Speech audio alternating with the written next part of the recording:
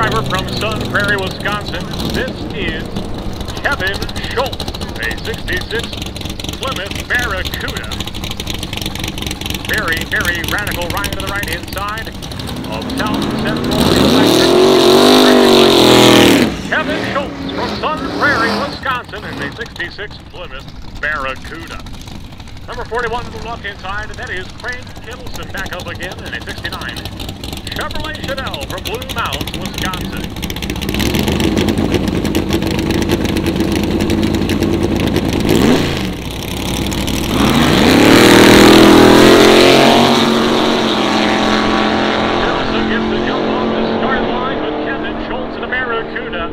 Quickly gets by him at the finish line. He'll go 10.02. 135 miles per hour to right inside. A great run for Kevin Schultz.